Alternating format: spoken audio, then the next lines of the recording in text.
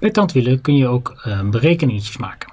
Dat maakt het zo'n leuk onderdeel. Dat je er ook heel veel van die tandwielen te weten kan komen. Hier, nee, zo. zo. Dus nou even kijken. Hier eventjes deze tandjes beschouwen. Hier gaat hij dan weer door. Nou, daar gaat hij weer door. Hier hebben we dan de steekcirkel of de afrolcirkel. Die zit hier ergens tussenin. Eventjes. Zo. En weer door. Nou, deze twee tandjes.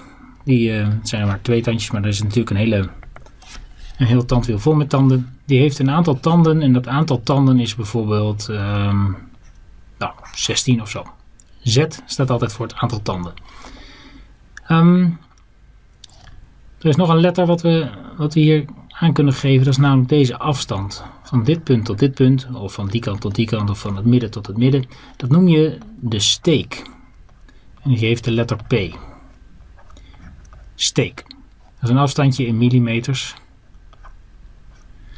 En die steek is ook de afstand waarover je uh, je werkstuk moet draaien voordat je een volgende tand zou ponsen of steken. Dat, daarom heeft hij ook de letter of het, het woord steek. Dat je als je tanden gaat steken, dan moet je het werkstuk verdraaien voordat je de volgende tand gaat steken. En zo elke keer door.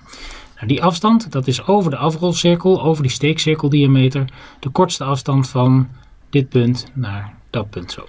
Daar overheen. En als ik dan kijk wat ik heb als ik P maal Z doe, wat heb ik dan? Dan ben ik opzij gegaan naar het volgende tandje en dat voor alle tandjes. Dus dan ben ik helemaal rond. En als ik helemaal rond ben, dan is dat de omtrek. En de omtrek, daar hebben we een formule voor, dat is pi maal d. Waarbij d, dan moet ik zo, die loopt nog helemaal door natuurlijk hè.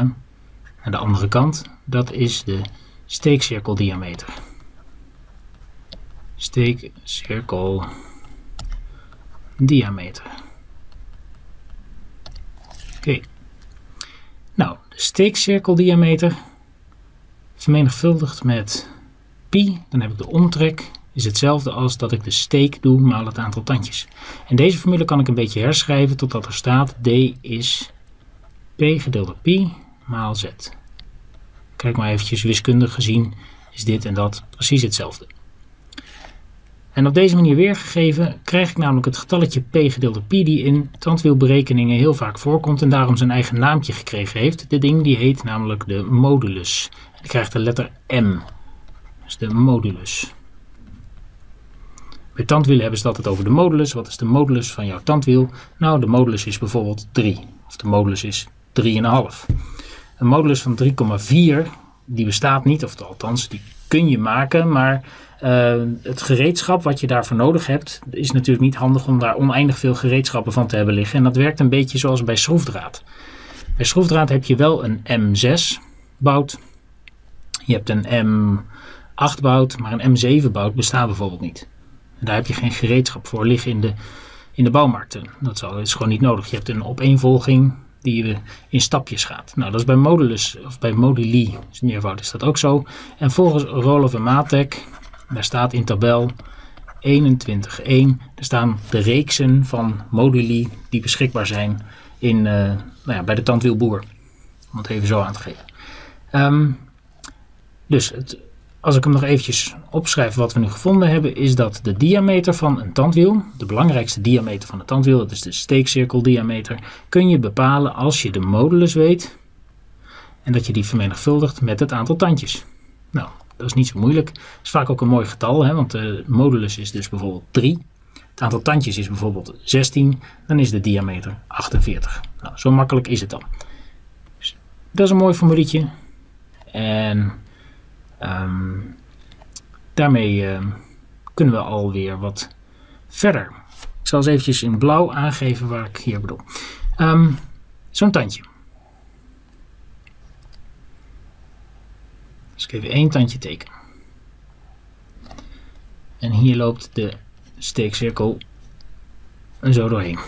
Dan houdt die tand, die houdt hier ergens op. Er zit hier ergens een vlak stuk. Het is niet helemaal vlak, want het is natuurlijk een deel van een cirkel dit. Dit loopt ook helemaal rond. Je begint uiteindelijk bij de fabricage van tandwielen met een ronde plak. Dus als ik hem ergens stop, dan is dat, dat buitendeel nog steeds gekromd. En die heeft ook dus een bepaalde diameter. Maar waar je stopt, daar is een, een algemene afspraak voor gemaakt. Dat bij een standaard tandwielvorm, dan is deze afstand vastgelegd. En die gaat niet verder dan dat. Terwijl die, als je die evolventus tekent waarmee die, die vorm hier zo is gemaakt, dan zou die eigenlijk nog helemaal tot in een puntje kunnen gaan. Nou, we gaan niet door tot een puntje. Dat heeft als reden dat als ik doorga tot een puntje, dan zou ik dat ook hier moeten doen. Want het tegenliggende tandwiel die hier zo komt, zo, zou dan ook een puntje moeten hebben. En die draait dan hier door jouw tandvoet heen. En die maakt dan in feite jouw uh, tandwiel uh, materiaal dunner, dus ook zwakker. En het heeft voordelen om, um, om dat dus niet te doen. Dus daarom hebben we een, een standaard maat voor de hoogte vanaf je afrolcirkel tot aan de buitenkant. En die noemen we M. En die is ook precies de modulus. Dat is, toevallig is dat een afstandje die precies goed uitkomt. Dat als ik dit deel deel door die 3,14, oftewel pi, dan heb ik een afstandje, dat is ongeveer zoiets. 1, 2, 3. En dit afstandje hier zo is precies ook dat afstandje. Dus deze afstand is precies de modulus. Nou, dat is een standaard internationale afspraak voor tandwielen, dat je die zo gelijk houdt.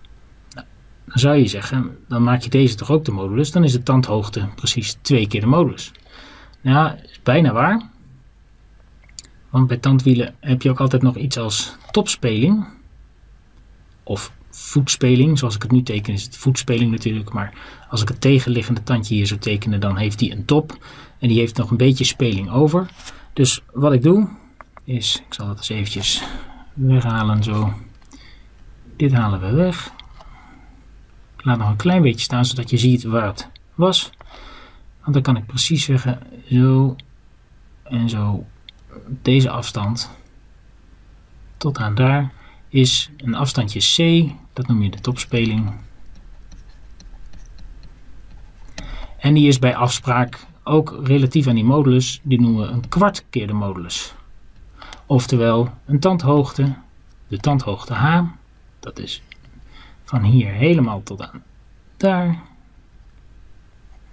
Dat is de tandhoogte, die is 2 en een kwart keer de modulus. Dan hebben we al een tweede formuletje te pakken bij tandwielen.